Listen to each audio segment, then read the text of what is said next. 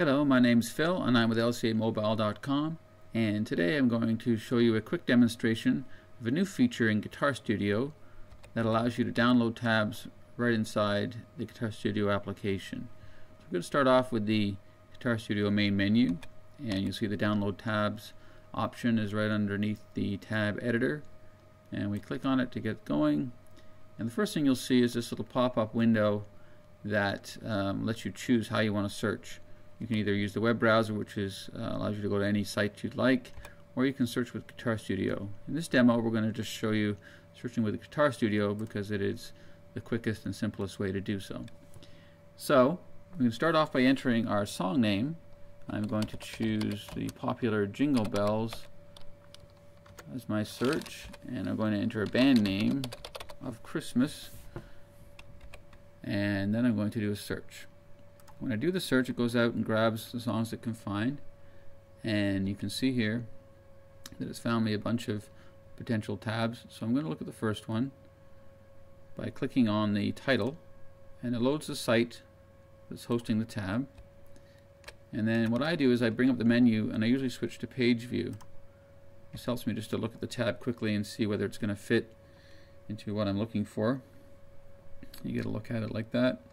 And let's say that that one's not the one I want. So I'm going to go back to the search by clicking the BlackBerry button and choosing search with Guitar Studio again. And you can see that my previous search is still preserved there. So we'll go to the next one and have a look at that. Same idea. We'll go down here to page view and scroll down and see what this tab looks like. You can scroll down faster on your BlackBerry. I'm on a simulator here. And so this one looks like more of what I want. So I'm going to decide to, to store this one onto my BlackBerry.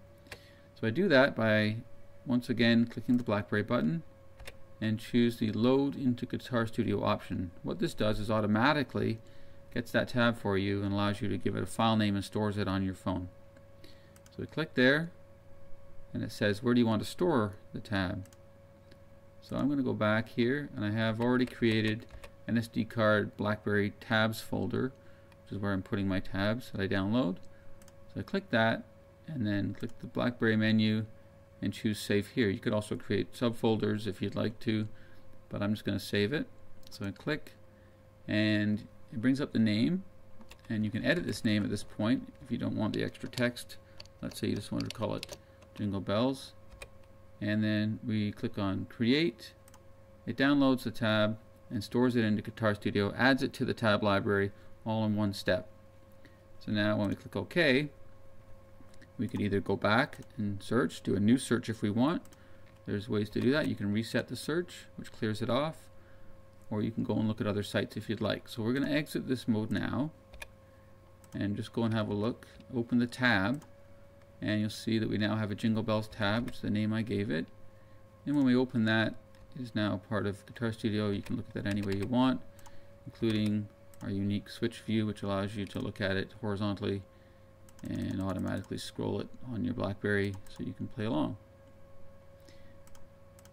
Okay, and that is as simple as it is to download tabs with Guitar Studio. So thanks for watching, and I hope you enjoy trying Guitar Studio from lcamobile.com. thank you